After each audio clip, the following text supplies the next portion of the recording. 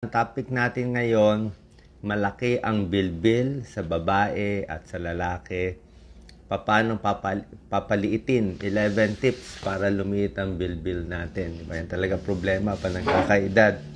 Hindi maiwasan kasi nga pa nagkakaedad, above 30, 40, 50, talagang mahina na metabolism, kulang ang galaw natin, kaya kahit yung dami ng pagkain natin pareho pa rin, eh mas tumataba tayo, 'di ba?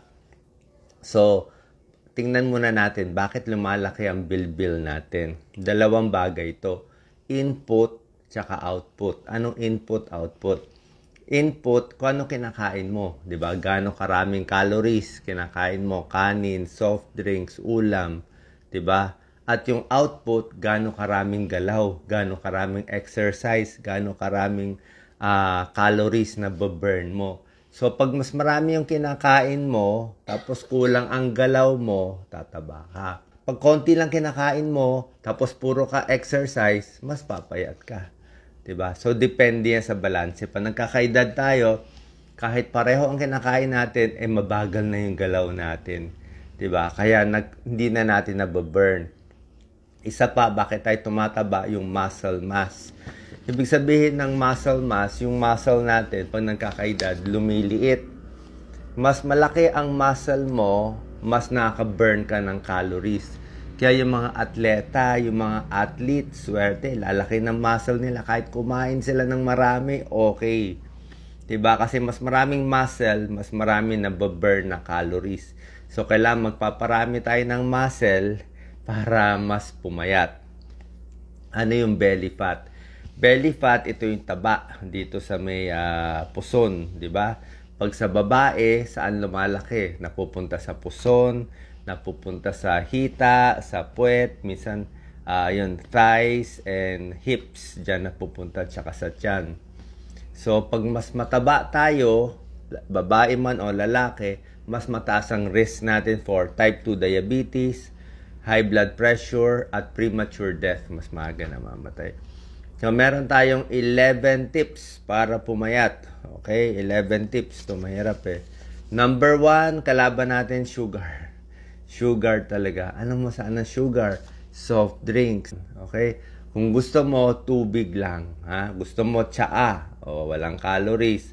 Lemon water, calamansi water, halos walang calories din.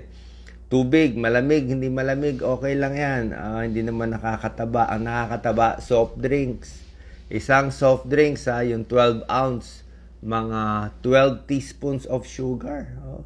Tubig, kumuha ka ng 12 kutsaritang asukal. Labing dalawang kutsaritang asukal, try mo kainin. Hindi mo makain. Pero soft drinks, ganun karami ang laman. Iced tea, pareho din. Mga delata na juice, di ba? Mga delata na juice, ang dami ding sugar niyan. Kung gusto niyo yung mga fruit juice na maganda, kumain ka na lang ng mansanas kumain ka na lang ng peras, 'di ba? O mas okay pa doon. At least ang sugar na ginawa ng Diyos, yung sugar kasama sa prutas, 'di ba? Uh, saging, may sugar, pero may fiber. Maraming mga ibang vitamins pa doon. Sa apple, marami. May pectin, may fiber. Tapos may sugar din konti. Kaya soft drinks, iced tea, chocolate, ibas tayo. Kasi isang 12 ounce na soft drinks, parang isang platong kanin na yun. Almost 3-4 cups of what of rice. So, yun na nakakataba. Number 2, alcohol, alak. Alak nakakataba. O beer, o, masarap ang beer. O, kaya lang, ah, kaya nga tinawag po beer belly. Alam mo ano ang beer belly? Beer belly, di ba sinabi? Kakainom ng beer, kita mo yung mga lalaki pag uminom ng beer, lumalaki ang tiyan. Pag alcoholic, lalaki na ang tiyan, liliit pa ang muscle. Ang heavy alcoholic, yan ang nangyayari. Nasisira ang atay, liver cirrhosis, lumalaki ang tiyan. Misa nga, uh, hindi na taba yun eh, ascites yun eh, tubig sa tiyan. Tapos lumiliit ang muscle, kaya lalo tumataba. Kahit yung mga uh, red wine, red wine mata- matamis din eh. Oo. Kung gusto nyo nga yung benefit ng red wine, kumain na lang kayo ng ubas ang grapes may resveratrol. Number 3, trans fat ang kalaban natin. Trans fat, ito yung nilalagay sa processed foods. Muffin, donut, croissant, pastry, 'di ba? Mga crackers, mga cakes, processed foods, 'di ba? Mga processed foods maraming trans fat eh. Oo, kahit mga crackers eh. Yung sa trans fat, according sa pag-aaral, mas namamaga, mas may inflammation sa puso, kaya mas matataba yung mga tao ngayon. Like sa Amerika, di ba? Kahit sa Pilipinas, hindi po maganda itong mga trans fat. Number four, kulang sa exercise. Sedentary lifestyle. Kulang sa galaw. So, mas magalaw, mas maganda. Kasi pinapawisan eh. Umaandar, may circulation. Kahit papano, di ba? Pinapawisan ka yung dugo mo. Uh, dumadaloy, di ba? Ayaw mo huminto yung daloy ng dugo. Kaya, galaw-galaw para hindi pumanaw. Number five, kailangan din natin ng protina sa diet. Alam nyo ba, ang Pilipino, bakit puro kanin daw tayo? Yung kanin, nagkakos ng diabetes. Ba't puro kanin? Alam nyo, ang Pilipino, 130 kilos of rice per year tayo. Ganun tayo kumain. 130 kilo ng kanin na ubus natin bawat Pilipino. Bakit tayo puro kanin? Mahal ang gulay, mahal ang baboy, mahal ang ano. Kaya puro kanin na lang konting ulam. Kaya dahil doon, mataas ang diabetes. Yan, mataas ang sakit sa puso sa atin. Kaya, pag mas maraming protina, bawas kanin, mas maraming protina, mas meron tayo pang muscle, panglagay sa muscle natin. 'Di ba? Kaya go, grow, and glow eh. Mas marami tayo pang muscle, more meat, mas maganda, mas makakapayat ka rin. Oo. Hindi ko sinasabi na puro karne na lang, high protein diet, nasa sa inyo. Pero yung ideal pa rin talaga, kung ito yung plato natin, kalahati gulay, gulay pampapayat, one-fourth may karne, one-fourth lang yung kanin. Number six, nakakataba din pag menopause.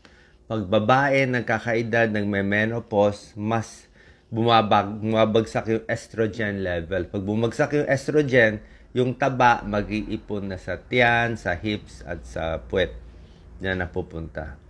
Number seven, more stress. Pag mas stress kayo, mas tumataba. Kasi ang hirap eh, kailangan mo ikain eh. Yung pagod mo, yung stress mo, yung init ng ulo mo, kailangan mo ikain siya. Kasi pag stress tayo, tumataas yung cortisol level. Lagi kang tense. Sa sobrang tense mo, gugutumin ka. Kasi napapagod yung ano eh, yung katawan sa kaka-stress mo sa trabaho kaya hindi ka papayat. Lalo kang tataba. Kasi mapipilitan ka kumain para may energy ka panlaban sa stress. So, mas relax, mas maganda, mas kaya mo magpapayat. Kung wala kang stress, wala kang trabaho, mas kaya mo gutumin ang sarili mo, kakayanin mo, di konting gutom. Pero kung marami kang work, ah, hindi kakayanin. Kaya bawas work para magpapayat. Meron din sa stress, emotional eating. O, mag-comment kayo. Emotional eating. Sino emotional eating? Pag malungkot, yan, kain ng ice cream. Pag masama loob, pag iniwan ng boyfriend, dadaanin ng mga sa pagkain, di ba? So, emotional eating. Iwas tayo dyan. Number 8, low fiber diet. Masama. Kailangan natin high fiber diet. Low fiber diet, uh, puro lang laman, puro lang taba, puro lang karne, kulang sa gulay. High fiber diet, kailangan maraming gulay. High fiber, mga lettuce, repolyo, kangkong, ampalaya, lahat yan. Lahat ng gulay, high fiber. Ibig sabihin, ang high fiber, ang laki ng bulk ng gulay, di ba? Ng salad pero, konti lang calories nun. Uh, ibig sabihin, mapupuno ang tiyan mo. Pag napuno ang tiyan mo ng gulay, busog ka na. Sa prutas, apple, maganda. Pang diet yan. Apple, konting banana, pwede rin naman may Japanese banana diet. Banana lang o apple lang, mas mabubusog ka dyan. Ang, ang medyo lang nakakataba na prutas, yung mangga, nakakataba. Uh, ubas, nakakataba. Raisins, yan yung mga very sweet. O strawberry, pwede rin. Kung may pera kayo, Baguio strawberry. Uh, wag lang lagyan ng maraming sugar, nakakabusog din yon di ba? Maasim-asim lang.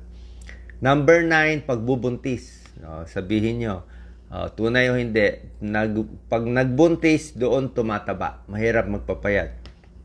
May kasabihan, bawat baby nyo plus 10 pounds. So kung dati eh 100 pounds lang kayo, payat, nagkaroon kayo ng dalawang anak, tingnan nyo yung timbang nyo, 120 pounds na. Usually, misa tumataas ng 10 pounds. Pero hindi naman kailangan yon So, pag ah, tama lang dapat yung pagtaas ng timbang habang nagbubuntis, mo-monitor kayo ng OB nyo. Kasi pag sobrang bilis yung pagtaba mo, hindi porke buntis, ah, pwede kumain lahat. May limit din, baka magka-diabetes kayo habang nagbubuntis. Pwede mag-diabetes, gestational diabetes. 'Di ba? So, pag nagbubuntis, tamang weight gain lang. Ha? Baka mapunta sa nanay lahat yung taba, hindi naman napunta sa baby. Pag lumabas na lang yung baby, tsaka pakainin si baby. ba? So, pregnancy, yan. Kailangan afterwards may exercise. Number 10, namamana. Merong katabaan na belly fat na mamana sa magulang. Kaya nga may kasabihan eh, let's say, o kayo sa mga lalaki, let's say nangliligaw kayo, tingnan nyo itsura nung mommy ng girlfriend nyo. Kung ano itsura ng mommy, yan ang most likely magiging itsura ng girlfriend mo or asawa mo after 30 years. So, pag yung mommy niya mataba, possible na tumaba, tumaba rin siya. Or kayo rin naman, mga lalaki, di ba? Pag yung daddy ay mataba, pwede rin naman mamana. Hindi naman lagi, pero madalas. Ang katabaan minsan nasa pamilya. The family can make you fat. Alam niyo yan? Family can make you fat. Kasi kung yung kasama mo sa bahay, lahat malakas kumain. O alas 12 na ng gabi, ayaw pa matulog, kakain pa rin, mag-order pa rin. Mapipilitan ka kumain eh. Paano ka makakatulog eh? Lahat, amoy pizza, amoy lahat, di ba? So, pag yung lugar o yung bahay na tinitirahan mo puro matataba, gusto mo magpapayat, umalis ka na muna. 'Di ba? People around you can make you fat. Yan, mahahawa ka, mapipilitan ka uh, tumaba. Pero pag lahat nag-exercise, mapipilitan ka mag-exercise. Number 11, last, kulang sa tulog. Pag kulang sa tulog, mas nakakataba. Yung mga puyat, night shift, yan din ang ginagawa ng katawan. Stress ka man o kulang ka sa tulog, gagawin ng katawan, let's say alas 12 na, may trabaho ka pa, uh, kailangan siya kumain eh. Yung mga night shift, di ba, puyat sila, kailangan nila idaan sa kain para makabawi. Para makabawi do sa... Kaya nga, kung mas mahaba ang tulog mo, kung mas mahaba yung oras ng tulog, mas hindi ka kakain, di ba? Mas relax ka pa. Mas kaya mo mag-diet kung hindi ka stress, mahaba tulog mo, wala ka, wala, wala ka masyado iniisip, doon kaya mo i-diet at i-exercise. Pero kung sobrang trabaho mo, sobra kang stress, puyat ka pa, misa walang choice, kailangan kumain. Okay?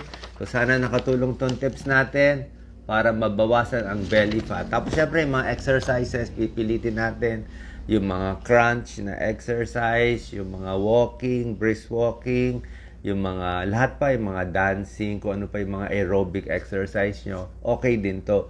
Warning ko lang sa may edad, 40, 50 and above, wag masyadong biglaan. Bigyan ng time para magpahinga. Okay? Misa kasi, pag nagkakaedad, konting exercise for the day, next day, pahinga na. Next day, ulit na naman. Hindi katulad ng bata, pwede araw-araw. So, dahan-dahan lang. Huwag din gigil. Unti-unti, sanayin yung katawan. Pag malakas yung katawan, exercise. Kung hindi, konting diet. Okay?